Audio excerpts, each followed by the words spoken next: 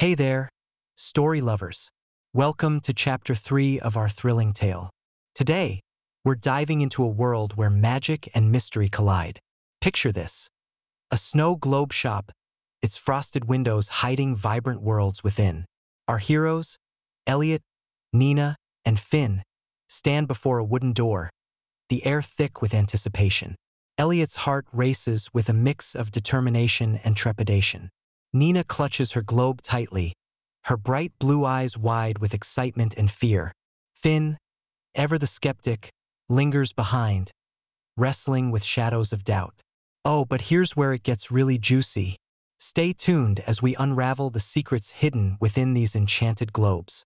Buckle up, because this chapter is going to be a roller coaster ride of emotions and revelations. As the door creaked open, the familiar scent of pine and cinnamon enveloped Elliot, Nina, and Finn. But today it felt different, charged with an electric tension that set their nerves on edge.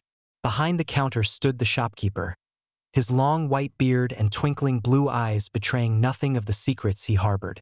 Ah, my young adventurers, back so soon, he greeted, his voice smooth like honey, yet laced with an undercurrent of something darker.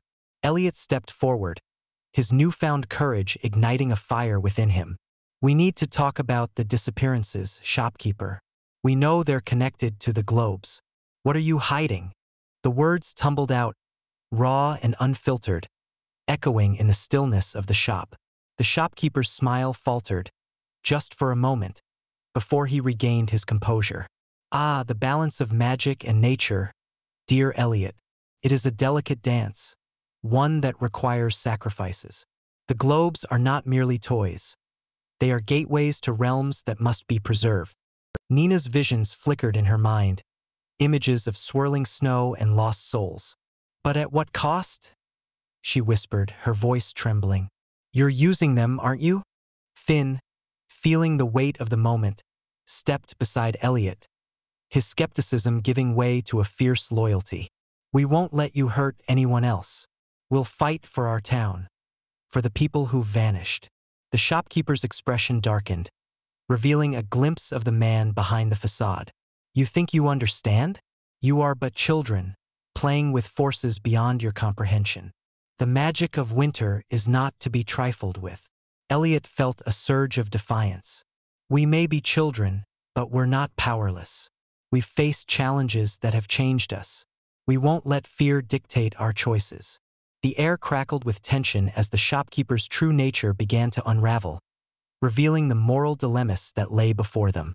Elliot, Nina, and Finn stood united, their resolve tested, ready to confront the darkness that threatened their community.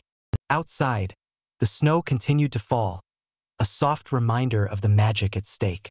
Elliot, Nina, and Finn, united in their resolve, prepared to restore balance to their world.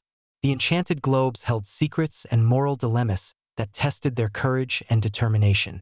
But these children were ready to confront the darkness that threatened their community. They had faced challenges that changed them, and they refused to let fear dictate their choices. As the chapter comes to a close, remember, story lovers, the magic of winter is not to be trifled with. Stay tuned for more adventures with our brave heroes.